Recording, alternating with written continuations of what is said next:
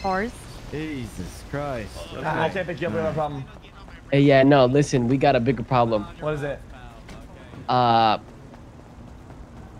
Pause these parts, these parts, uh,